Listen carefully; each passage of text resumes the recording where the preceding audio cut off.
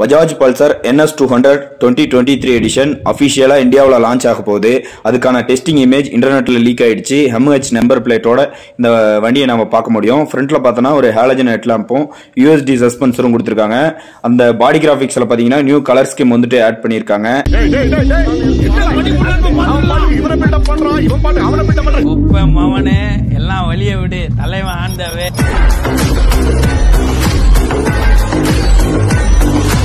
வேற என்னென்ன வண்டியில் அப்கிரேட் பண்ணியிருக்காங்க? இந்த வண்டி என்ன ப்ரைஸ்க்கு வரப்போகுது? இந்த வண்டி எப்போ லான்ச் ஆகும்? எல்லாமே ஒன் பை ஒன்னா இந்த வீடியோவில் பார்க்கலாம்.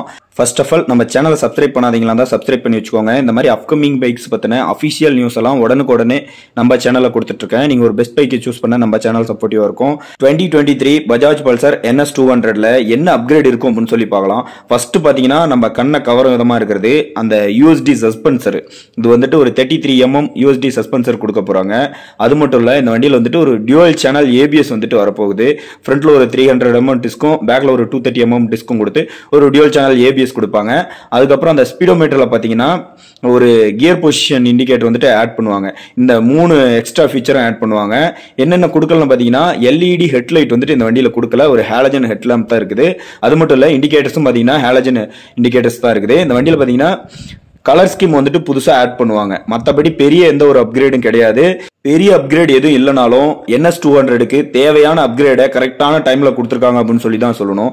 ஏன்னா two hundred சிசிலே one of the powerful bike இதுதான். Two hundred சிசிலே one of the best bike அப்படின்னு சொல்லி சொல்லலாம். ஏன்னா வேல்யூ ஃபார் மணியாக இருக்குது.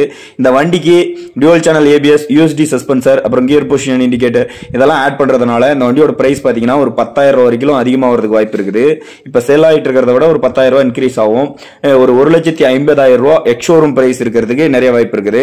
என்எஸ் ஃபேன்ஸ் எல்லாம் வெறித்தனமாக வெயிட் பண்ணி பண்ணிட்டு இருந்தது இந்த யூஎஸ்டி சஸ்பென்சர் எப்போ வரும்? இந்த dual சேனல் ஏபிஎஸ் எப்போ வரும்னு சொல்லிட்டு தான் வெயிட் பண்ணிட்டு இருந்தாங்க ஃபைனலாக இதை கொடுத்துட்டாங்க.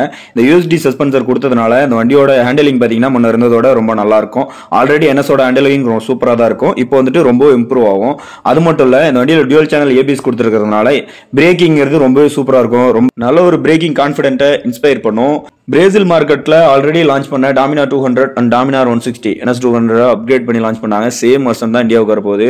ஹெட்லைட் பார்த்தீங்கன்னா ஹாலஜன் தான் இண்டிகேட்டரும் ஹாலஜன் தான். ஏன்னா பிரேசில் மார்க்கெட்டில் அப்படி தான் லான்ச் பண்ணாங்க. அதை மட்டும் ஒரு அப்கிரேட் பண்ணி ஒரு LED headlight and LED indicators கொடுத்துருந்தாங்கன்னா சூப்பராக இருந்திருக்கும். அந்த ஸ்பீடோ மீட்டர்லேயும் ஒரு ஃபுல் டிஜிட்டல் கிளஸ்டர் கொடுத்துருந்தாங்கன்னா நல்லா இருந்திருக்கும். பட் ஃபைனலாக அதெல்லாம் வரப்போறதில்ல.